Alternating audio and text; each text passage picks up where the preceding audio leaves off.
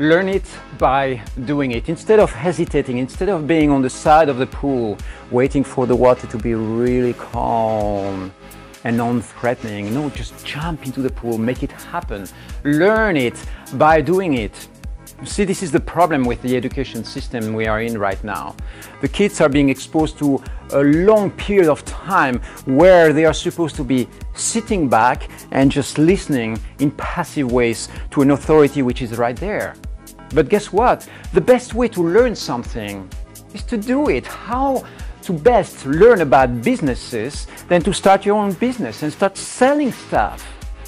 If you want to learn about relationships, you know, you can read lots of books about relationships and learn by listening to other people's experiences, or you can jump right into a committed relationship with a beautiful lover, a beautiful partner, and start doing it.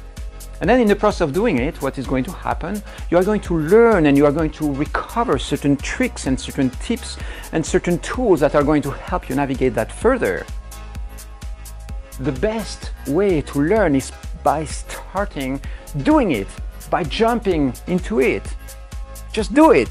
Yeah, this is where it comes from. It's like instead of hesitating, instead of being there, mentalizing, and being afraid of the consequences of your actions, you go like, this is what I want to do. I'm going to start moving forward, taking steps.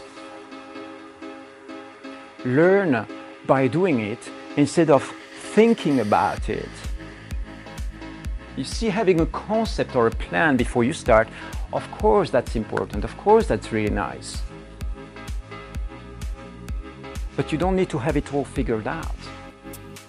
You don't need to have a 150 pages report about your business plan on how to make this happen.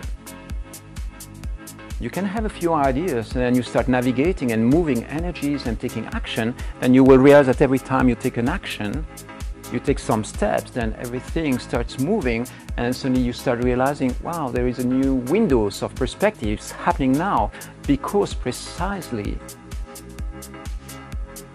I took some steps. Learn it by doing it. Don't hesitate. Don't hold back. Take steps instead.